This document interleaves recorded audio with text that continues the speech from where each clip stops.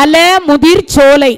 அடுத்த தலம் என்ன தலம் பழமுதிர் சோலை. ரொம்ப ரொம்ப அற்புதமான ஒரு தலம் வெள்ளியம்பிராட்டியை பயம்புறுத்துவதற்காக விநாயக பெருமானை அழைத்தார் யார்? முருகப்பெருமான். அண்ணாவை அழைத்தார் துணைக்கு அப்படின்னு இல்லையா? என்ன? எந்த காரியம் செய்தாலும் யார் இல்லாமல் செய்யக்கூடாது. ஆமாம் பிள்ளையார் இல்லாமல் செய்யக்கூடாது. தம்பியினுடைய காதலுக்கு இவர் யானையாக போனாராம் அந்த தலம்தான் பல முதிர் சோலை. விநாயக பெருமான் அந்த தலத்தில் போய் தான் என்ன பண்ணாரு? யானை சொரூபத்தை காட்டியதாக வரலாறு. அதுக்கப்புறம் இன்னொன்று இதுவோ பழமுதிர் சோலை மதுரைக்கு பத்த பக்கத்தில் இருக்கு ஆனால் இது நடந்ததோ மேற்பாடி என்ற வேலூருக்கு பக்கத்தில் இருக்கக்கூடிய வள்ளிமலை பக்கத்தில் இருக்கக்கூடிய மேற்பாடி என்கின்ற சிற்றூரில் நடந்தது அப்படின்னு சொல்கிறாங்க ஆனால் வள்ளிமலையை ஆறாவது படை வீடாகவும் ஒரு புராணம் சொல்லப்படுகிறது. அதுக்கு அடுத்து பார்த்தீங்கன்னா ஆனால் பழமுதிர் சோலை அப்படின்னு சொல்லக்கூடிய தென்னாட்டு தலம்தான் ஆறாவது படை வீடாக இருக்கின்றது அப்படின்னு சொல்லப்படுகிறது. அதனால் இங்கு நடந்தது வந்து திருமணத்திற்கான திருவிளையாடல். ஆனால் ஆறாவது படை என்பது பழமுதிர் சோலை. அவ்வை பிராட்டியாருக்கு அந்த தலத்தில் தான் என்ன கொடுக்கிறார்? ஞான உபதேசம் கொடுக்கிறார். அந்த தலத்தில் தான் ஞான உபதேசம். அதனால் முடிந்த வரைக்கும் அந்த தலத்தை என்ன பண்ணணும்? அழகர் மலை. கல்லழகர் ஏன் அவருக்கு கல்லழகர்னு பேர் வந்துச்சு? தெரியல. மேலே பழமுதிர் சோலைக்கு போகிறதுக்கு கல்லழகரில் இருந்து தான் மேலே போகணும். பழமுதிர் சோலைக்கு போகணும்னா கல்லழகருக்கு கோயில் போய் அவரை தரிசனம் பண்ணி மாமனாரை தரிசனம் பண்ணி தான் மேலே மருமகனை தரிசனம் பண்ண முடியும். இந்த கல்லழகர் அப்படின்னா என்னது? கல்லுன்னா திருடன்னு அர்த்தம். திருடி கட்டின கோயில் அது. யார் அவர் திருமங்கை ஆழ்வார். யார் அவர் திருமங்கை ஆழ்வார் கட்டின கோயில் தான் அந்த கோயில். அவர் ராஜா. கோயில் கட்டுறதுக்கு இருந்த சொத்தெல்லாம் கோயில் கட்டிட்டார். ஆனால் முழிக்க முடியல. என்ன பண்ணுறதுன்னு பார்த்தார். அந்த வழியாக செல்வந்தர்கள் எல்லாம் வருவாங்க பாருங்கள் அவங்க கிட்ட எல்லாம் இவர் திருடுவார். ஏய் மரியாதையாக கயிற்று. எல்லாம் கயிற்று. இப்படி திருடி கொண்டு போய் கட்டின கோயில் அதனால தான் அது அவருக்கு பேர் கல்லழகர் அப்படின்னு பேர். இன்னொன்று இறைவனே அந்த தலத்துக்கு மகாலட்சுமியோடு காட்சி கொடுத்தார். திருமங்கை ஆழ்வாருக்கு. அப்படி காட்சி கொடுத்த பொழுது அப்போ தான் என்ன பண்ணுறாருன்னா மீன அம்பாள் கழுத்துலேருந்து எல்லாம் மீ யார் மகாலட்சுமி கழுத்துலேருந்து எல்லா நகையும் பிடுங்கிட்டார். இங்கே இவர்கிட்ட இருக்கணும் டே அப்பா அந்த திருமாங்கலயத்தை மட்டும் விட்டுடுறா அப்படின்றார். சரி சரி அதை வாங்கலை விட்டுடுறேன். ஆனால் நீ ஆம்பளை தானே காலில் மெட்டி போட்டிருக்கல அதை கொடு. இது கல்யாணம் ஆன போது எங்கள் மாமனார் வீட்டில் போட்டது. பெண் அந்த காலத்தில் வந்து பெண்கள் எல்லாம் தலை குனிஞ்சி நடந்தாங்க. இந்த ரெண்டு தாத்பரியம் இருந்தது. கல்யாணம் ஆனாங்கன்னா ஆண்கள் காலில் மெட்டி போடுவாங்க. பெண்கள் கால்லையும் மெட்டி உண்டு. ஆண்கள் கால்லையும் மெட்டி போடுவாங்க. ஆண்கள் கால்லையும் மெட்டி இருக்கும். இந்த பெண்கள் நடந்து போவாங்களாம். தலை குனிஞ்சி நிமிந்தெல்லாம் நடக்க மாட்டாங்க. இப்போல்லாம் ஆமாம் இப்போல்லாம் ஏம்மா கல்யாண பொண்ணுக்கிட்ட சொல்கிறோம் கல்யாண பொண்ணுக்கிட்ட இல்லை. நிச்சயதார்த்தம் ஆகும் போதே சொல்கிறேன் மா கொஞ்சம் வெக்கப்படும் அப்படின்னா? ஏம்மா கொஞ்சம் தலையை கீழே போடுமா? தலை எனக்கு குனிஞ்சே பழக்கம் இல்லை அப்புறம் நான் எங்கேருந்து தலையை கீழே போடுறது? இப்பெல்லாம் குனியறதே கிடையாது. நிச்சயதார்த்தம் ஆகும்போதே மாப்பிள்ளை தலை குனிஞ்சிக்கிறான் வெக்கத்தில். ஆ. பொண்ணு ஏங்க ஃபோட்டோக்காரரு தலை நிமிந்து நிற்க சொல்கிறாரு நீங்கள் பாட்டுக்கு தலை குனிஞ்சு இருக்கிறீங்களே. ஒரு காலத்தில் கல்யாணம் ஆயிட்டு இந்த ஃபோட்டோவுக்கு வந்து ஃபோஸ் கொடுக்கறதுக்கு இந்த பொண்ணு இப்படி குனிஞ்சுனே இருக்கும். இந்த மாப்பிள்ளை தோல் மாப்பிள்ளை தோழிகள் தான் இந்த கழுத்தை இப்படி நிமித்தி நிமித்தி விடுவாங்க. அப்படி நிம் ஆமாம் உண்டா இல்லையா? நிறைய இடத்துல பார்த்துருப்பீங்க. ஆனால் இப்போ பொண்ணு சொல்கிறா ஏங்க வெக்கப்படுறீங்க? ஆ. கழுத்தை நல்லா நிமிந்து அதான் நிச்சயதார்த்தம் ஆயிடுச்சு இல்லை. எல்லாம் இப்போ பார்த்தீங்கன்னா அந்த செல்ஃபி ஃபோட்டோஸ் நிறைய இப்போல்லாம் வீடியோஸ் நிறைய என்னென்னமோ அதுபோல அந்த வெக்கம் என்கின்ற ஒன்று அந்த காலத்தில் உண்டு. அதனால் ஆண்களுக்கு வந்து அந்த தலை குணு பெண்கள் வந்து தலை குனிஞ்சு நடந்து போவாங்கல்ல அந்த காலத்தில் அப்போ என்ன பண்ணுவாங்கன்னா இந்த ஆண்கள் வந்து இந்த பாதம் பார்ப்பதற்கு அவ்வளவு அழகாக இருக்குமா? பார்த்த உடனே இது ஏற்கனவே அடுத்தவருக்கு ரிஜிஸ்டர் ஆயிட்டுக்கிறார் இவர். வெட்டியை பார்த்து கண்டுபிடிச்சிருவாங்களாம் அச்சோ இவரை நம்ம மனசில் நினைக்கக்கூடாதுன்னு அந்த பெண்கள் என்ன பண்ணுவாங்களா? நினைக்க மாட்டாங்களாம். இந்த நெற்றியில் குங்குமம் தலை நிமிர்ந்து நடப்பார்களாம். யாரு? ஆண்கள். இந்த நெற்றியில் குங்குமம் பார்த்த உடனே இது ஏற்கனவே யாருக்கோ ரிஜிஸ்டர் ஆயிட்டு இருக்குது. நாம் பார்த்தா நமக்கு டேஞ்சர் பெண்கள் நெற்றியில் வைக்கிற குங்குமத்துக்கு என்ன பேர்? டேஞ்சர் லைட்டுன்னு பேர். இது ஏற்கனவே ரிஜிஸ்டர் ஆயிட்டதுன்னு அர்த்தம். ஆண்கள் மெட்டீர். இப்போ அழகர் பெருமானாக இருக்கக்கூடியவர் காலில் மெட்டி அணிந்திருக்கிறார். இவர் என்ன பண்ணுறார் கீழே குனிந்தார். பல்லில் கடிச்சு எடுக்கிறார் அது. யாரு? திருமங்கை ஆழ்வார் எடுக்கிறார். டேப்பா. அதையாவது விடுடா அப்படின்னார்.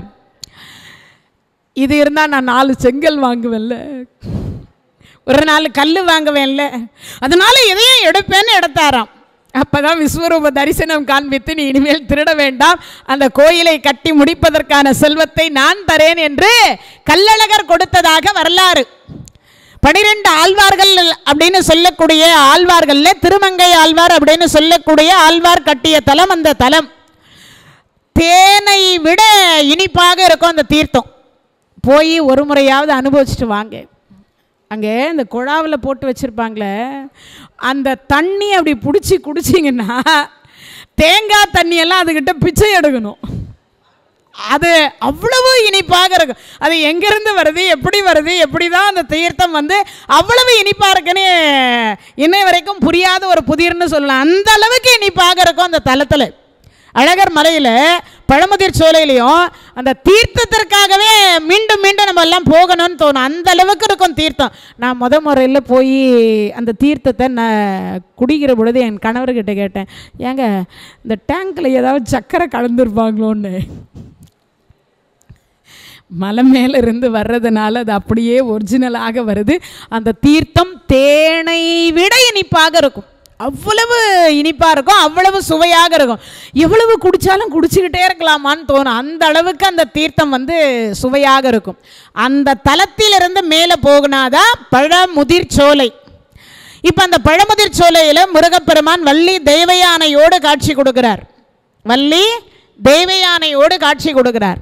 இப்போ அந்த தலத்தில் வந்து அரிது அரிது மானடராய் பிறத்தல் அரிது கூன் குருடு செவிடு பேடு நீங்கி பிறக்கக்கூடிய அந்த பாடலை பாடி அவ்வை பிராட்டிக்கு பாலும் தெளிதேனும் பாகும் பருப்பும் இவைனாலும் கலந்துனக்கு நான் தருவேன். கோலன்சை துங்கக் கரிமுகத்து தூமணியே நீ எனக்கு சங்கத்தமிழ் முன்றும் தா சீத கலப செந்தாமரை பூம் பாதச்சிலம்பும் பலையிசை பாட பொன்னரை நானும் பூந்துகில் ஆடையும் வண்ணமருங்கில் வளர்த்தழகரிப்ப பேழை வயிறும் பெரும்பாரக்கோடும் என்று விநாயகர் அகவல் பாடிய அவ்வை பிராட்டியார். ஆத்திச்சூடி எனது கூழானாலும் குளிச்சிட்டு குடி கந்தையானாலும் கசக்கி கட்டு. சொல்லி கொடுத்த பிராட்டியாருக்கு கொஞ்சம் கர்வம் இருந்தது. என்ன கர்வம்? நம்மளை மாதிரி உலகத்தில் யாராலையும் தமிழ் பாட முடியாதுன்னு இருந்துச்சான் இருக்கும் இல்லையா? சாதாரண மனிதர்களே படிக்கிற பொழுது கொஞ்சம் படிச்சுட்டா கர்வம் வந்துடுது. இல்லையா? உண்மையான விஷயம் தானே. கொஞ்சம் படிச்சுட்டா எல்லாருக்கும் கர்வம் வந்துடுது. அப்போ அந்த கர்வம் எப்படி தீர்ப்பது? அந்த கர்வம்லாம் இருக்கிறதுனால தீர்க்கணும் இல்லையா? ஒரு தமிழ் படித்த மூதாட்டி இடத்தில் கர்வம் இருக்கலாமா? ஒரு தமிழ் படித்த அனைவருக்கும் கருத்து சொல்லக்கூடிய பிராட்டியார் அந்த அம்மா. அவங்களுக்கு போய் என்ன இருக்கும்? அவங்களுக்கு வந்து கர்வம் இருக்கலாமா? இருக்கக்கூடாது இல்லையா? அப்போ என்னன்னா அந்த கர்வம் இருக்கக்கூடாது என்பதற்காகத்தான். சரி இந்த அம்மையாருக்கு எப்படி பாடம் புகற்றுவது ஏன்னா நிறைய படிச்சுட்டோன்னா நிறைய படிச்சுட்டேன் நிறைய படிச்சுட்டேன்றாங்க. இன்றைய தினத்திலிருந்து பார்த்தீங்கன்னா இப்போ பழமுதிர் சோலை பார்த்து முடித்ததற்கு பிறகு வேல் விருத்தம் பார்க்க போகிறோம் அதற்குரிய பேப்பர் தான் உங்கள் கைக்கு வந்துட்டுருக்கு. வேல் விருத்தத்தினுடைய பிரிண்டிங் தான் உங்கள் கைக்கு எல்லார் கைக்கும் வருது. இப்போ நான் அதுக்குரிய பொருளும் அந்த பாட்டும் சொல்லுகிற பொழுது நீங்களும் கேட்டு தெரிந்து கொள்ளுவதற்கு. ஏன்னு கேட்டால் இந்த வேல் விருத்தம் என்று சொல்லக்கூடிய அவ்வளவு சிறப்புக்குரியது. எந்த இடத்தில் படிக்கிறோமோ அங்கு பகை இருக்காது நோய் இருக்காது. மகாலட்சுமி தாண்டவம் ஆடுவாள். அது மட்டும் இல்லாமல் இக பர சௌபாகியம். என்ன கிடைக்குமா? இந்த லோகத்தில் நாம் அனுபவிக்கணும்னு என்னெல்லாம் இன்பங்கள் இருக்கோ அத்தனை இன்பத்தையும் அனுபவிப்போம். அது மட்டும் இல்லாமல் நேராக பாயிண்ட் டு பாயிண்ட் மாதிரி முருகப்பெருமானுடைய திருவடியிலே சேவை செய்வதற்குரிய பாக்கியம் கிடைக்குமா? லட்சத்தி ஒன்பது வீரர்களோடு நாமும் ஒருவராக போகக்கூடிய பாக்கியம் கிடைக்கக்கூடியது தான் உங்கள் கைக்கு இப்போ வந்திருக்கிறது. அதுக்கு பேர் வேல் விருத்தம் அருணகிரி பெருமான் பாடி அருளி கொடுத்தது. வேலை புகழ்ந்து பாடி கொடுத்த ஒன்றுதான் வேல் விருத்தம். அதை பாடினா நமக்கெல்லாம் என்ன இருக்காதா? யம பயம் வராது. என்ன பயம் வராது? யம பயம் வராது. அதே மாதிரி உயிர் பிரிகிற பொழுது நமக்கெல்லாம் என்னது? இந்த எரும மாடு வர்றது சூலாயுதம் வர்றது அது மாதிரிலாம் இருக்காது. என்ன வரும்? முருகப்பெருமானே மயில் மீது வந்து வள்ளி தெய்வ யானையோடு காட்சி கொடுப்பாராம். அப்பேற்பட்ட ஒரு பதிகத்துக்கு உரியதைத்தான் உங்கள் கையில் இப்போ வந்து கொடுத்து கொண்டிருக்கிறார்கள். அதனால் இதை வாங்கி இன்னைக்கே வந்து பழமுதிர்ச்சோலை திருத்தலம் முடிந்துவிட்ட பிறகு வேல்விருத்தம் தொடங்கும் என்பதை தெரிவித்துக் கொள்கிறோம் நாளையிலிருந்து இந்த பேப்பரை அப்படியே கண்டினியூவாக கையில் கொண்டு வந்துடணும். ஏன்னு கேட்டால் நான் சொல்லுகிற பொழுது உங்களுக்கும் அதில் என்ன செய்யுள் நடையில் இருக்குது எல்லாமே. அதை வந்து நீங்கள் பதம் பிரித்து நான் உங்களுக்கு சொல்ல போகிறேன். அதனுடைய பொருளும் சொல்ல போகிறோம். அதனால் அதை பதம் பிரித்து சொல்லுகிற பொழுது தெரியாதவங்க பக்கத்தில் அப்படியே எழுதி வச்சுக்கோங்க. தெரியாதவங்களுக்கு நான் சொல்லுகிற பொழுது அதை அப்படியே எழுதிக்கிட்ட கூட நீங்களும் வீட்டில் வந்து அதை பாராயணம் பண்ணலாம். சின்ன ஒரு குட்டி வேல் வாங்கி வச்சுக்கணும் எல்லாரும். அதுக்கு ஒன்றும் இல்லை பால் தயிர் பஞ்சாமிரதம்னு ஏதாவது இல்லை ஒரு தேனும். அது மாதிரி அதை ஊற்றி அபிஷேகம் முடிச்சுட்டு கொஞ்சம் விபூதியை போட்டு அதை அபிஷேகத்தை முடிச்சுட்டு அது ஒரு தா தட்டில் வச்சு அதை ஒரு பூச்செடியில் கொண்டு போய் ஊற்றிட்டு அதுக்கப்புறம் ஒரு சந்தனம் வச்சு ஒரு குங்குமம் வச்சு இந்த வேல் விருத்தம் என்று சொல்லக்கூடியதை தொடர்ந்து நாற்பத்தி எட்டு நாள் நீங்கள் பாராயணம் செய்து படித்தீர்கள். நான் வந்து பாராயணம்னா தெரியாமல் பார்க்காமலாம் படிங்கன்னு நான் சொல்லலை. அது எப்படியும் வந்து ஆகும். நாள் கொஞ்ச நாள் போனால் தான் அது வந்து பாராயணம் பண்ணிக்க முடியும். இப்போதைக்கு பார்த்தே படியுங்க. அப்படி பார்த்து படித்தீர்களாயே ஆனால் நீங்கள் என்ன விரும்புகிறீங்களோ அது அத்தனையும் உங்களுக்கு கிடைக்கும். அப்பேற்பட்ட ஒரு பொக்கிஷம் தான் வெறும் பத்து பாட்டு தான். ரொம்ப பெருசாலாம் இல்லை. பத்தே பத்து பாட்டு தான் இருக்குது அந்த பத்து பாட்டை படிப்பது அவ்வளவு சிறப்பு. அவ்வளவு சிறப்பு இருக்குது அதில். ஆனால் நமக்கெல்லாம் அப்படி ஒன்று இருக்குன்றதே பெரும்பாலும் நிறைய பேருக்கு என்ன தெரியாது. வேல் விருத்தமா? அப்படின்னு ஒன்று இருக்கா? அப்படின்னு நிறைய பேருக்கு தெரியாது. வேல் விருத்தம் இருக்குது மயில் விருத்தம் இருக்குது அதே மாதிரி சத்ரு சம்ஹார வேல் பதிகம் இருக்குது அதே மாதிரி சேவல் வகுப்பு இருக்குது அதே மாதிரி வேல் வகுப்பு இருக்குது இன்னும் நமக்கெல்லாம் என்னவோ நிறைய விஷயங்கள் இருக்கின்றது. அதனால் இதையெல்லாம் தெரிந்து வைத்து கொள்ளுவது சிறப்பு. தெரிஞ்சாவே பலனா? எது? வேல் விருத்தம்னு ஒன்று இருக்குன்னு தெரிஞ்சாவே பலன். எழுத்து கூட்டியாவது படிக்க கற்றுக்குங்க அது படிக்கிறதுக்கு கொஞ்சம் ஆரம்பத்தில் கஷ்டமாக இருக்கும். அதை விட இன்னொரு விஷயத்தையும் நான் சொல்கிறேன் நம்ம சீர்காழி கோவிந்தராஜன் ஐயா அவர்கள் நிறைய பாடி கொடுத்துருக்குறாங்க. அதே மாதிரி வீரமணி ராஜு நிறைய பாடி கொடுத்துருக்கிறார். அவங்க எல்லாம் வந்து அந்த யூடியூப்பில் பாடி கொடுத்துருக்காங்க. நீங்கள் அதை கேட்டிங்கனாவே உங்களுக்கு வந்து அது புரிஞ்சிரும். அது என்ன வார்த்தையில் இருக்குது என்ன நடையில் இருக்குன்றது வந்து உங்களுக்கு வந்து புரியும். அதனால் அப்படிப்பட்ட ஒரு சிறப்புக்குரியது தான் உங்கள் கையில் கொடுத்துருக்கோம். வேல் விருத்தம் என்பது பொருள் பத்து பாடல் அந்த பாடல் அந்த பாடலை இது முடிஞ்சது பழமுதிர்ச்சோலை முடிஞ்ச உடனே அந்த பாட்டு தான் எடுக்க போகிறோம் நம்ம. நாளைக்கும் அந்த பாட்டு தான் தொடரப் போகிறது. அதனால் முடிஞ்ச வரைக்குமோ அந்த பாட்டும் அந்த பாட்டுக்குரிய பொருளும் சொல்லப்படுகிறது. இதை கேட்பது சிறப்பு படிப்பது சிறப்பு அதே மாதிரி கடைசி காலத்தில் யாரெல்லாம் இது வந்து எப்படின்னு கேட்டால் மூவருனுடைய திருவருள் கிடைக்கும். முருகப்பெருமானுடைய திருவருள் சிவசக்தி அப்படின்னு சொல்லக்கூடிய என்ன? சிவபெருமானும் சக்தியாக இருக்கக்கூடிய அம்பாலும் கொடுத்த வேலாயுதம். அந்த வேலாயுதத்தை போற்றி தான் யார் பாடியிருக்கிறது? அருணகிரி பெருமான் பாடியிருக்கிறார். அதனால முருகப்பெருமானுடைய திருவருளும் கிடைக்கும் சிவபெருமானுடைய திருவருளும் கிடைக்கும் அம்பாளுடைய திருவருளும் கிடைக்கும். மூவருடைய திருவருள் அந்த பத்து பாட்டுக்கு கிடைக்குது. எவ்வளவு சிறப்பு இல்லைங்களா? அதனால நாளைய தினத்திலிருந்து நீங்கள் கையிலேயே கொண்டு வந்துடலாம். நாளைய தினத்திலிருந்து வேல் விருத்தம் மயில் விருத்தம் அதிலிருந்து தான் நம்ம தொடங்க போகிறோம். அதனால் மீதம் இருக்கக்கூடிய நாட்கள் அந்த மூன்று நாட்கள் அதாவது பார்த்தீங்கன்னா இன்றைக்கி சனிக்கிழமை முடிஞ்சிட்டு ஞாயிறு திங்கள் செவ்வாய் இந்த மூன்று நாட்களும் வேல் விருத்தம் மயில் விருத்தம் இது ரெண்டு தான் நம்ம பார்க்க இருக்கிறோம். அதனால் இந்த பேப்பர் மட்டும் கையில் கொண்டு வந்தீங்கன்னா நான் சொல்லுகிற பொழுது உங்களுக்கும் அது புரியறதுக்கு அதிக வாய்ப்புகள். அது மட்டும் இல்லை நீங்கள்லாம் படிச்சீங்கன்னா உங்கள் சந்ததிகள் நல்லாயிருக்கும் உங்கள் சந்ததிகள் ஏன்னா நெ- நிறைய பேர் நம்ம மனசுக்குள்ளே என்ன நினைக்கிறோன்னு கேட்டால் நிறைய வீடு சேர்த்து வச்சிடணும் வாசல் சேர்த்து வச்சிடணும் நகை நட்டு சேர்த்து வச்சிடணும் அது வைக்கணும் இது வைக்கணும்னு நினைக்கிறோம். ஆனால் அதெல்லாம் சேர்த்து வச்சா கூட நம்ம பிள்ளைங்களுக்கு ஆயுள் என்கின்றதை கொடுக்கணுன்னா ஆண்டவன் தான் கொடுக்கணும். அறிவு கொடுக்கணும்னா அவன் தான் கொடுக்கணும். அந்த செல்வத்தை அனுபவிக்கக்கூடிய பாக்கியத்தை கொடுக்கணும்னாலும் அது அவன் தான் கொடுக்கணும். இல்லையா? அதனால் இதையெல்லாம் தரவல்ல ஒரு பெருமான். அப்படின்னா முருகப்பெருமான். அதனால் அந்த வேல் விருத்தத்தை பாராயணம் பண்ணுறது சிறப்பு. அதே மாதிரி உங்களுக்கு அது படிக்கிறதுக்கும் கொஞ்சம் கஷ்டமாக இருந்தால் கூட நீங்கள்லாம் யூடியூப்பில் போயிட்டு வேல் விருத்தம்னு பாடிங்கன்னா நிறைய பெண்களும் பாடியிருக்காங்க நிறைய ஆண்கள் பாடியிருக்கிறாங்க. உங்களுக்கு எந்த ராகத்தில் உங்களுக்கு எது கேட்குறதுக்கு இனிமையாக இருக்கோ எது உங்களுக்கு புரியுதோ நீங்கள் அதெல்லாம் கேளுங்க. ஒரு குறைந்தபட்சம் பார்த்தீங்கன்னா ஒரு நாற்பது நாள் கேட்டிங்கன்னா ஆட்டோமேட்டிக்காக அது வந்துடும் அதனால தான் பெரியவங்க சொல்லிடுறாங்க சித்திரம் கைப்பழக்கம். செந்தமிழ் நாப்பழக்கம் என்ன ஒன்று அருணகிரி பெருமான் கொஞ்சம் நல்ல தமிழில் பாடிட்டார். அவ்வளவுதான். உடனே கேட்டுறாதீங்க நாம் பேசுகிறதெல்லாம் தமிழான்னு. இல்லவே இல்லை. வாயேன் உட்காரேன் இருப்பியா போடுவியா? ஆ எப்படி பேசினா அதெல்லாம் தமிழா என்னன்றதை நாம தான் யோசிக்கணும். அந்த மாதிரி தமிழில் இருக்கு இப்போல்லாம். அதனால் பழமுதிர் சோலை.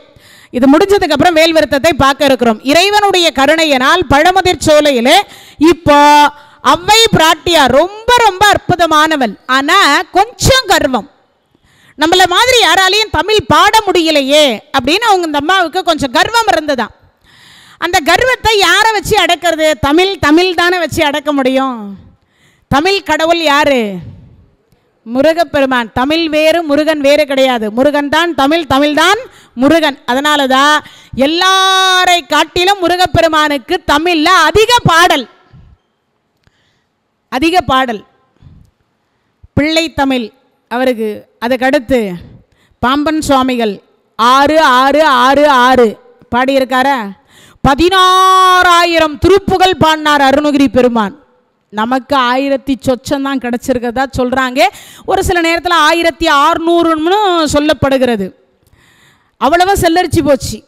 அவ்வளவா செல்லரிச்சு போச்சு. அதுக்கப்புறம் பார்த்தீங்கன்னா கந்தர் அலங்காரம் கந்தர் அனுபூதி கந்தர் அந்தாதி கந்தர் கலி வெண்பா இதெல்லாம் எதில் இருக்குது எல்லாமே முருகப்பெருமானை ஒட்டி தான் வருது அவ்வளவு பாடல்களும். அதுக்கப்புறம் பார்த்தீங்கன்னா இன்னும் எத்தனையோ அடியார்கள் நான் முன்ன சொல்லும்போது கூட சொல்லியிருக்கேன் மாம்பழ கவிராயர் அப்படின்னு சொல்லக்கூடிய பழனியில் இருக்கக்கூடிய ஒரு கவிராயர் அவர் நிறைய பாடியிருக்கார் சாது சுவாமிகள் நிறைய பாடியிருக்கார். அதுக்கப்புறம் சிதம்பரம் சுவாமிகள் திருப்போரூர் சந்நிதி முறை அப்படின்னு சொல்லிட்டு ஒரு பாடல் பாடி கொடுத்துருக்கார். அவர் பாடினது தான் நோயுற்று அடராமல் நொந்து மனம் ஆடாமல் பாயிர் கிடவாமல் பாவியேன் காயத்தை ஓர் நொடி பொழுதில் நீக்கி உன் போரூர் ஐயா உன் சீரடியின் கீழ் வைப்பாய் என்னை. அப்படின்னு கேட்டிருக்காரு. ஏன்? உலகத்தில் நோய் வந்தால் பெரிய கஷ்டம்ன்றார் அதே மாதிரி தான் ஏது பிழை செய்தாலும் ஏழை ஏனுக்கு இறங்கி தீது புரியாத தெய்வமே அப்படின்னு கேட்குறார். ஏது பிழை செய்தாலும் எவ்வளவு குற்றம் பண்ணாலும் முருகப்பெருமான் மன்னிச்சிருவாராம். எவ்வளவு குற்றம் பண்ணாலும் ஒன்றும் இல்லை. பாதார விந்தத்தில் போய் பணிந்து முருகா அப்படின்னா மன்னிச்சிருவாராம். என் குழந்த தானே.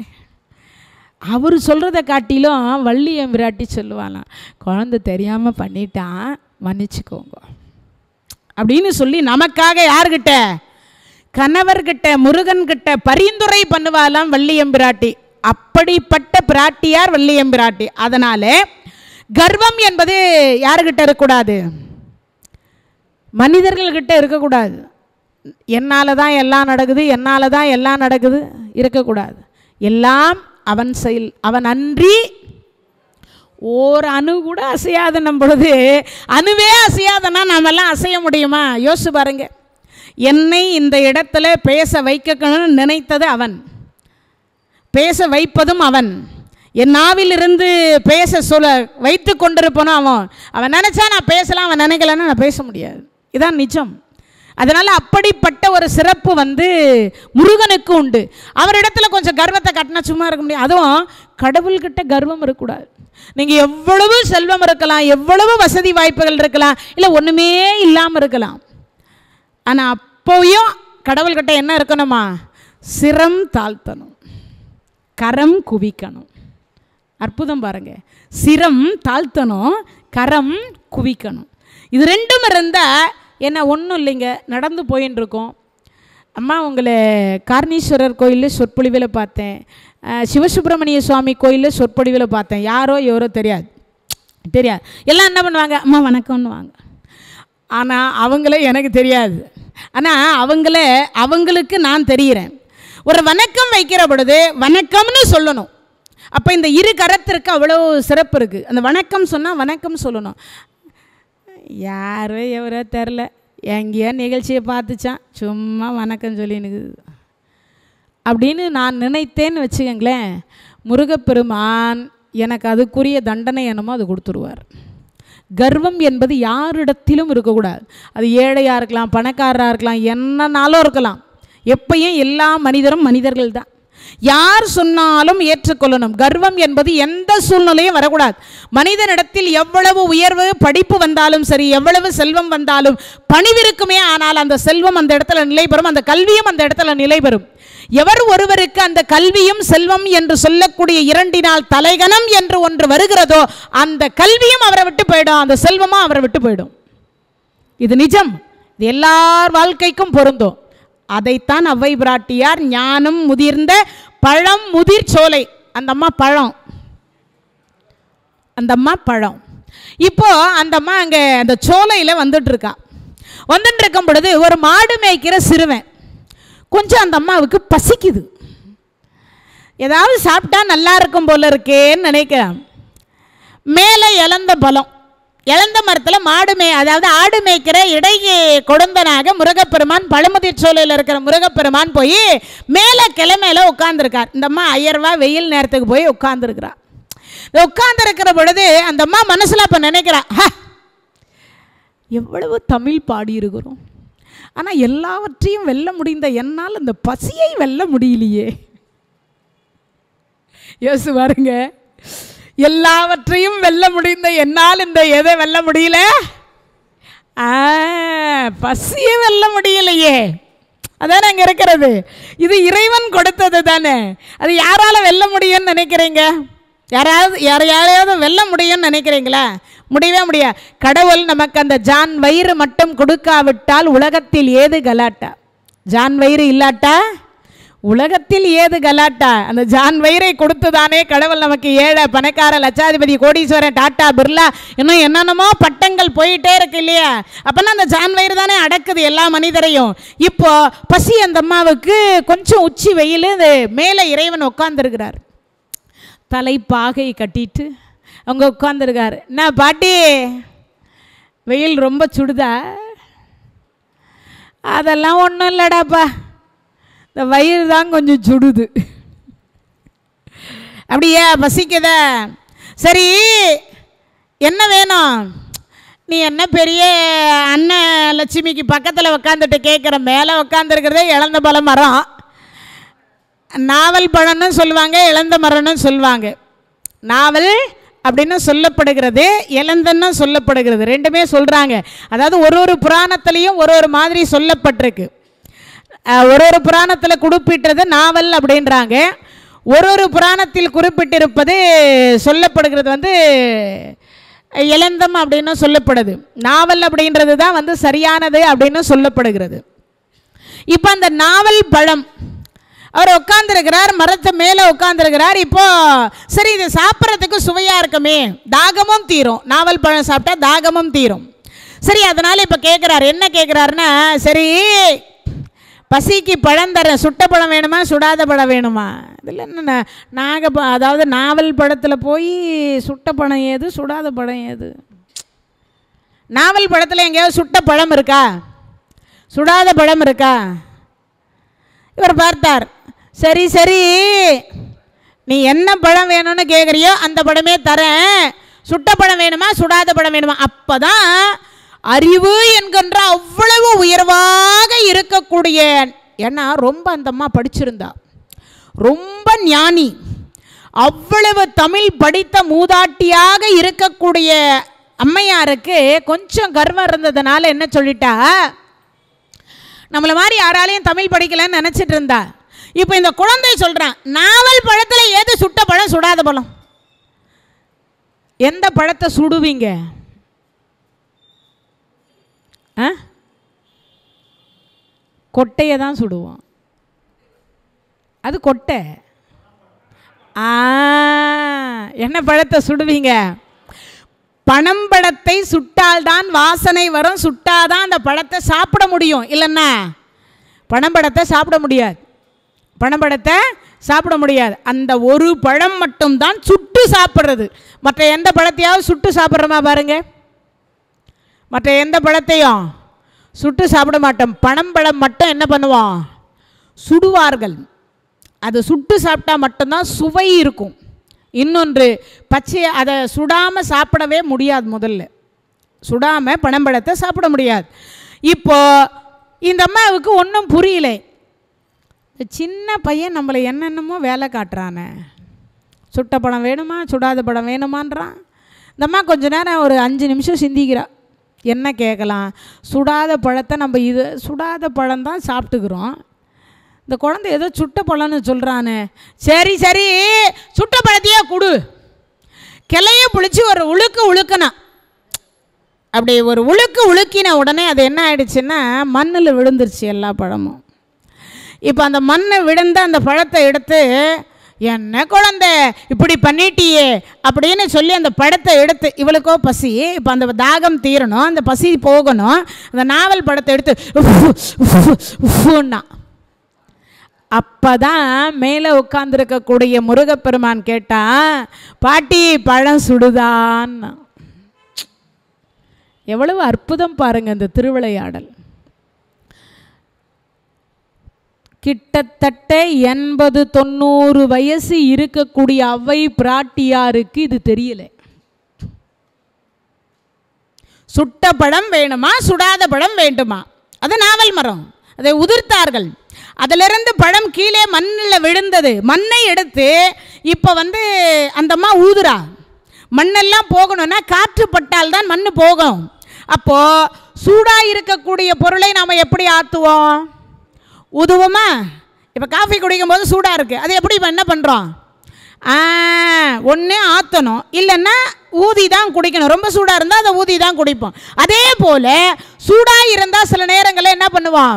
கையில் ஏதோ ஒரு பொருள் சுட சுட கொடுத்துட்டாங்கன்னா என்ன பண்ணுவான் நம்ம கையே சில நேரத்தில் சுட்டுட்டா முதல்ல என்ன பண்ணுவோம்? அந்த சூட்டை ஆற்றுவதற்கு கையில் காற்றை ஊதுவோம். அப்போ தான் வந்து அது ஆறும். இல்லைன்னா ஆறாது. அப்போ இந்த அம்மா நினைக்கிற இதுவே நமக்கு தெரியலையே. இவ்வளவு படித்த தமிழ் எவ்வளவு படிச்சிருக்கிறோம். இவ்வளவு படித்த எனக்கு என்ன தெரியாமல் போயிடுச்சு. மண்ணில் விழுந்த பழத்தை எடுத்து ஊக்க ஊதி சாப்பிட்டா அதுக்கு பேர் சுட்ட பழம் என்கின்ற சாதாரண இந்த ஒரு விஷயமே எனக்கு தெரியலன்னா நான்லாம் தமிழ் படித்தவள் புடமை பெற்றவள் என்று இவ்வளவு நேரம் அகந்தையில் இருந்தேனே. டே அப்பா நீ யாருடா? குழந்தை நீ யாரு? எனக்கே பாடம் புகட்டி விட்டாயே. இவ்வளவு நாள் இது தெரியாமல் இருந்திருக்கிறேனே. இத்தனை வயது வரைக்கும் ஒரு சுட்ட படம் சுடாத படம் எனக்கு அதுக்கு அர்த்தம் தெரியாமல் இருந்திருக்கிறேனே. அப்போதான் என்னை நல்லா உத்துப்பாரு என்னை நல்லா உத்துப்பாரு. அப்பதான் சிரிச்சாராம் முருகப்பெருமான். முருகா நீன்னு தெரியாமல் வந்து கொஞ்சம் கர்வத்தில் இருந்து விட்டேன் என்னை மன்னித்தருள்வாயாக. அப்பதான் முருகப்பெருமான் சொன்னாராம் இறைவன் மட்டும் இல்லை மனிதர்கள் இடத்திலும் கூட என்ன இருக்கக்கூடாது? நான் என்கின்ற கர்வம் என்பது இருக்கவே கூடாது. அதை உணர்த்தும் பொருட்டு உங்களுக்கு ஞானத்தை உணர்த்தினேன்னார். அறிவை உணர்த்தினேன். வேற ஒன்றும் இல்லை. பெருசா இல்லை. அறிவை உணர்த்தினேன்னார். அப்படி அறிவு என்று சொல்லக்கூடியதை உணர்த்திய பொழுதுதான் சரி நீ தான் தமிழ் படித்தவங்களாயிற்று. என் பிழையை பொறுத்து கொள்வாய். என் பிள்ளையை பொறுத்து கொள்வாய் அப்படின்னு சொல்லிட்டு முருகா என்னை மன்னித்து விடு. சரணாகதி. எப்பவுமே பார்த்தீங்கன்னா கடவுள்கிட்ட கூட தெரியாமல் அறியாமல் ஏதேனும் தவறு செய்திருந்தால் முருகா நான் இந்த தவறை செய்து விட்டேன் மீண்டும் என்னை அந்த தவறை செய்ய விடாமல் தடுப்பது செய்ய விடாமல் காப்பதும் நின் கடன். பிரார்த்திக்கணும். செய்த தப்பே மீண்டும் மீண்டும் செய்யக்கூடாது. செய்த தப்பையே மீண்டும் மீண்டும் செய்யக்கூடாது. அப்பதான் அந்த அம்மையாரிடத்தில் என்ன கேட்டார்? அரிது எது? என்று கேட்டார். அரியது எது? அப்பதான் அந்த அம்மா சொல்றா அரிது அரிது மானிடராய் பிறத்தல் அரிது கூன் குருடு செவிடு பேடு நீங்கி பிறத்தல் அரிது. பேடு நீங்கி பிறந்த காலையும் ஞானமும் கல்வியும் நயத்தல் அரிது. ஞானமும் கல்வியும் நயத்த காலையும் தானமும் தவமும் தான் செய்தல் அரிது. பிறக்கிறது பெரிய விஷயம் கிடையாது. இருப்பதை யாருக்காவது சில பேருக்காவது கொடுத்துட்டு கடைசி காலத்தில் போகணும். யாரை மாதிரி? ஆ? சாகரத்துக்கு முன்னாடி கொடுத்துட்டு செத்தவன் யாரு? ஆ. இறப்பதற்கு முன்னாடி கூட குற்றுயிராக இருக்கிற பொழுது என்ன கேட்டார்? டேப்பா நீ செய்த தான தர்மத்தை எல்லாம் கொடுன்னு கேட்ட பொழுது ஒரு செகண்ட் என்ன நின்ன நினைத்தார்? கடவுளே வந்து கொடுப்பவனாக இருந்தால் கடவுளே வந்து கையேந்தி நிற்பான் அதுவும் ஒரு லட்சுமிக்கு நாயகனா? எட்டு லட்சுமிக்கு வீட்டுக்கார். அவர் கையேந்தி போய் கேட்குறார் டேப்பா நீ செய்த தான தர்மத்தை எனக்கு தானமாக கொடு அப்படின்னு கேட்டார். ஐயா இருக்கிறத கேளுங்க கொடுக்குறேன்னு சொல்லிட்டு நாம அந்த என்ன சொல்லியிருப்போம் ஏண்டாப்பா சாகும்போது கூட ஏன்டா என் உயிரை இப்படி வாங்குறீங்கன்னு கேட்டிருப்போம். ஆனால் அவன் அந்த வார்த்தையை சொல்லலை. இருக்கிறத கேளு கொடுத்துட்டு சாகிறேன். கடைசி காலத்தில் இறப்பதற்கு முன்னாடி கூட கொடுத்து விட்டு இறந்தான் என்கின்ற பெயர் இருக்கட்டும். அப்பதான் யான் செய் புண்ணியம் அனைத்தும் பெருகினார். இப்படி கொடுத்தா நான் வாங்க மாட்டேன். ஏற்கனவே மூன்று அடி மண் தானம் வாங்குற பொழுது மகாபலி சக்கரவர்த்தி கிட்ட கூட நான் ரத்தத்தை தாரவாத்து கொடுத்து தான் வாங்கினேன். ர- உதிரத்தை தாரவாத்து கொடுத்து தான் வாங்கினேன். எப்படி? மகாபலி சக்கரவர்த்தி கமண்டலத்தில் இருக்கிற தண்ணியை ஊற்றி இப்படி வாங்கலான்னு இப்படி வாங்க போகிறார் யார்கிட்ட? வாமன அவதாரத்தில் இருக்கக்கூடிய பகவான்கிட்ட. கொடுக்கணுன்ற பொழுது சுக்கராச்சாரியார் தான் குரு அவருக்கு. சுக்கராச்சாரியார் போய் அந்த குழாய் என்று சொல்லக்கூடிய கமண்டலத்தினுடைய அந்த குழாயில் தண்ணி வரும் அல்லவா? அந்த குழாவில் போயிட்டு இவர் என்ன பண்ணாருன்னா நேராக வண்டு ரூபத்தில் போய் கருவண்டா அடைச்சிக்கிட்டார் அடைத்து கொண்ட உடனே பார்த்தார் பெருமாள் பார்த்தா என்ன இது? ஏதோ அடைப்பிருக்கும் போல இருக்கேன்னு நினச்சி அவர் தர்பை புல்லை எடுத்து ஒரு குத்து குத்துனார். இந்த வலது கண்ணில் போய் அதிலிருந்து ரத்தம் வழிந்து தான் அதை பிடித்து தான் தாரை வார்த்து கொடுத்தான் மகாபலி சக்கரவர்த்தி. அந்த பாவத்தை போக்கி அந்த பாவத்திற்கு எங்கே தவம் செய்து அந்த கண்ணை பெற்றார்னா கபாலீஸ்வரர் என்று சொல்லக்கூடிய தலத்துக்கு பக்கத்தில் இருக்கக்கூடிய வெள்ளீஸ்வரர் ஆலயத்தில் தான் சுக்கராச்சாரியாருக்கு கண் பெற்ற இடம். கபாலீஸ்வரரை வேணா நம்ம தரிசனம் பண்ணுறோம் ஆனால் வெள்ளீஸ்வரர் கோயிலுக்கு போகிறதே கிடையாது. கண்ணுக்கு பிரச்சனை இருக்குமானா இன்னைக்கும் வெள்ளியிலே கண்மலர் வாங்கி சாத்துறேன்னு சொல்லி பிரார்த்தனை பண்ணிட்டு உண்டியலில் போடுறேன்னு பிரார்த்தனை பண்ணிட்டு நீங்கள்லாம் போய் ஒரு முறையாவது அவருக்கு பாலபிஷேகம் பண்ணிட்டு கண்ணார பார்த்துட்டு வந்தீங்கன்னா கண்டிப்பாக கண்ணில் இருக்கக்கூடிய கோளாறுகள் நீங்கும். இன்னைக்கு வரைக்கும் ஐதீகம் உண்டு. அப்பேற்பட்ட வெள்ளீஸ்வரர். அப்போவே அவர் அப்படி வாங்கினேன் இப்போ எப்படி வாங்குவேனார் அதனால் என்ன பண்ணார்? அர்ஜுனன் பானம் தொடுத்திருக்கிறான் இல்லையா? இதயத்தில் இருக்குது பாரு அந்த பானத்தை மட்டும் கொஞ்சம் பிடுங்கு. அதிலிருந்த உதிரத்தை இப்படி வாங்கு அப்படின்னு வாங்கி அப்படி தார வார்த்தை கொடுக்குறார். யான் செய் புண்ணியம் அனைத்தும். நீங்கள் நினைக்கிற மாதிரி இப்போ கொடுக்கறதுக்கு ஒரு புண்ணியம் வரும்ல. அந்த புண்ணியத்தையும் உனக்கு சேர்த்தியாக கொடுத்துட்டேன்ட்டார். இது வாங்கின உடனே இவருக்கு அந்த உதிரம் கையில் பட்டுச்சு பாருங்க. இவர் வாங்கிட்டு போகலான் தாங்க வந்தார். ஆனால் இவருக்கு என்ன தோணுது? ஏதாவது கொடுக்கணும்னு தோணுது. டேப்பா எதனா வேணும்னா கேள்றா அப்படின்னு சொன்னார். அந்த நேரத்தில் கர்ணன் கேட்டான் இல்லை என்று சொல்லி கொண்டு வருகின்றவருக்கு இல்லைன்னு சொல்லாத இதயத்தை கொடுன்னு கேட்டான். உலகத்தில் அவனை தவிர யாருமே அந்த மாதிரி கேட்கல. நாமெல்லாம் செல்வம் கேட்டிருப்போம். ஏன்னா செல்வம் இருந்தால் தான் கொடுக்க முடியும். ஆனால் அவன் என்ன நினைக்கிறான்? இதயம் இருந்தால் தானடா செல்வம் இருந்து மட்டும் என்ன பிரயோஜனம்? கோடி கோடியாக இருந்தது. யாருக்கு? துரியோதனனுக்கு. கொடுத்தானா? இல்லையே. அதே கூட பிறந்த அண்ணனுங்களுக்கே ஈ இருக்கும் இடமும் இப்புவியில் நாடு கூடன்னு சொன்னவன் தானே துரியோதனன். ஆனால் துரியோதனை விட்டு சொத்தாக இருந்தாலும் கர்ணன் அள்ளி அள்ளி அள்ளி அள்ளி அள்ளி கொடுத்தானா இல்லையா? கடைசி வரைக்கும் கொடுத்துட்டு தானே அவன் செத்தான். கொடுப்பதற்காகவே பிறந்தவன் என்கின்ற முறையில் அதைத்தான் இங்கு சுட்டி காட்டுறார் தானமும் தவமும் தான் செய்தல் அரிது. அரிது எது தெரியுமா? தானத்திலேயே சிறந்தது அன்னதானம். அதை விட ஆயிரம் மடங்கு சிறந்தது இப்போ நான் உங்களுக்கு சொல்லி கொண்டிருக்கக்கூடிய தானம். எது? அறிவு தானம். அறிவு தானத்தை விட லட்சம் மடங்கு சிறந்தது. ஒவ்வொரு மனிதரும் எந்த சூழ்நிலையும் நிதானம் தவற விடக்கூடாது. ஒவ்வொரு சூழ்நிலையும் எந்த சூழ்நிலையாக இருந்தாலும் என்ன தவற விடக்கூடாது? நிதானம் தவறக்கூடாது. நிதானத்தை காட்டிலும் கோடி மடங்கு சிறந்தது சமாதானம். விட்டு கொடுத்து போனால் கெட்டு போக மாட்டோம். எல்லா இடத்துலையும் வீடாக இருக்கலாம் ஆஃபீஸாக இருக்கலாம் எந்த இடமாக இருந்தாலும் என்ன போடக்கூடாது?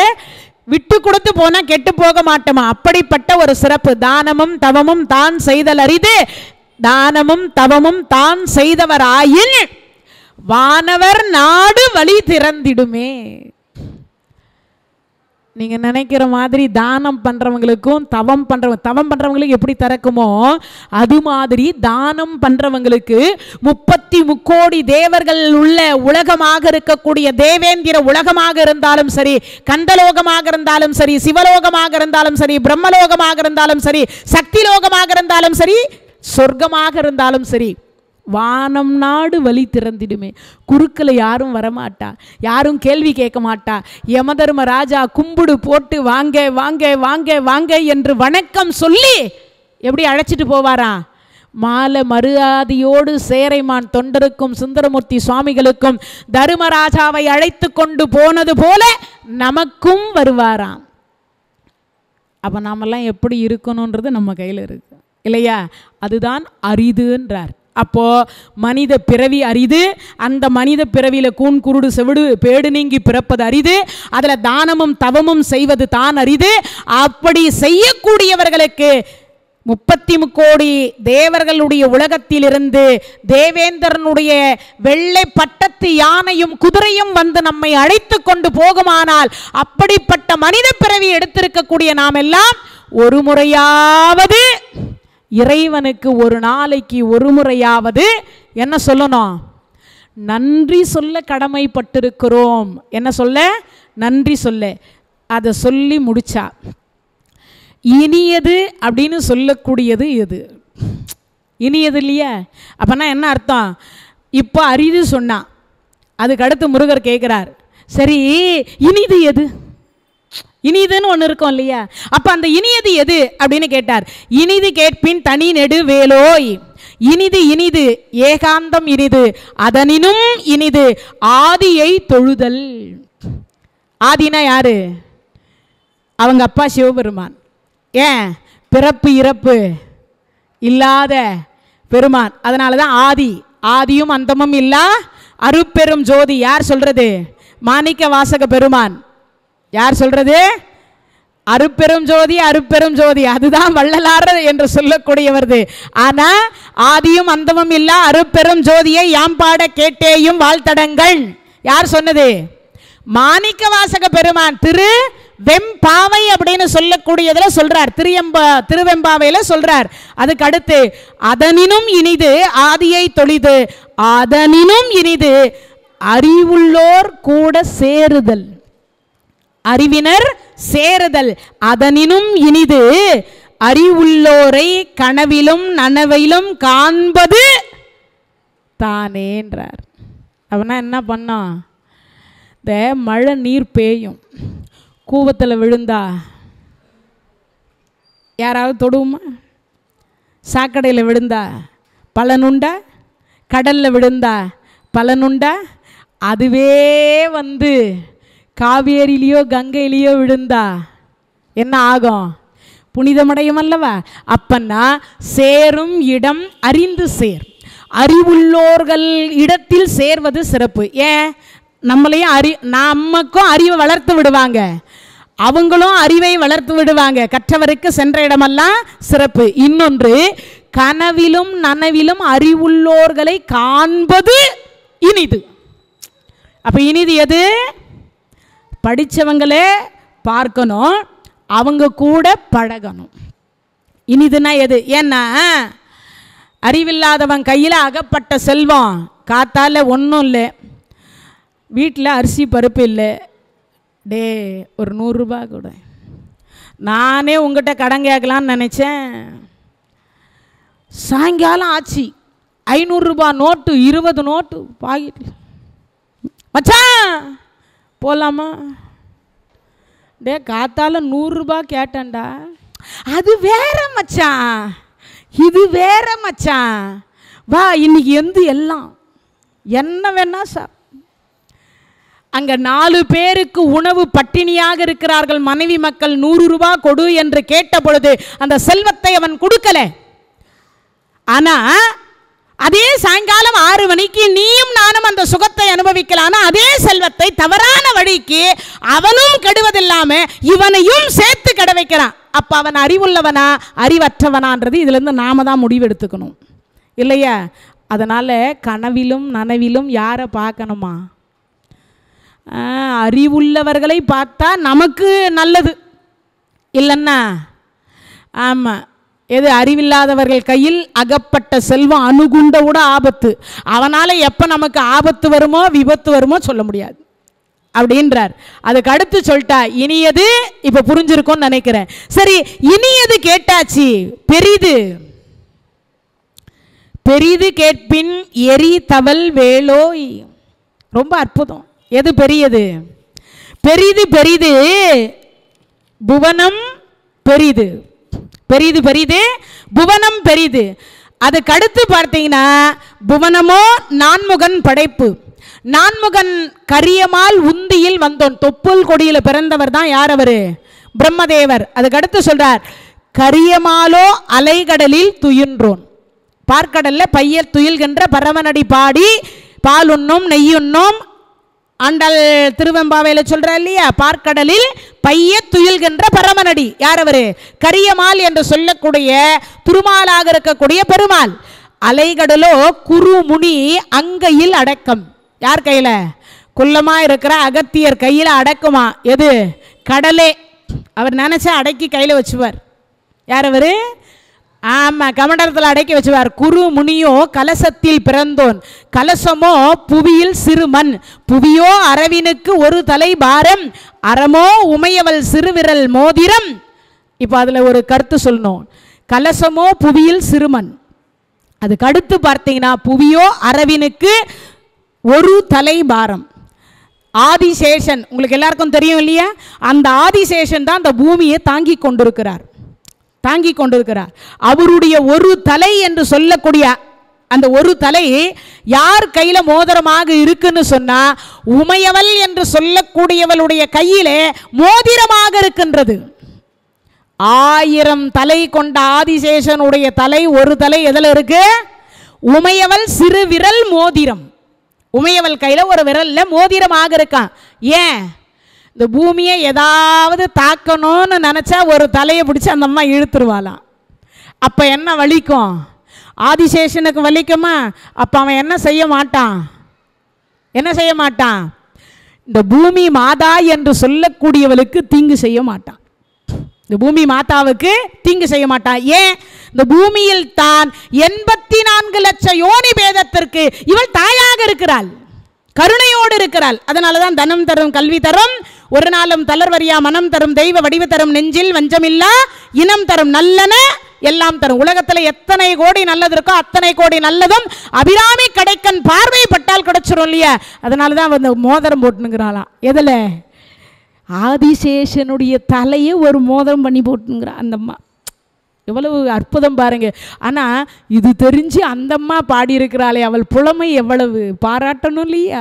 ஒருவேளை அந்த தமிழுக்கு தான் முருகப்பெருமான் அடிமையாகி போய் அவளை ஆட்கொண்டாரோ என்னமோ தெரியலை. இல்லையா? இல்லைன்னா இவ்வளவு விஷயங்கள் நமக்கு தெரியுமா?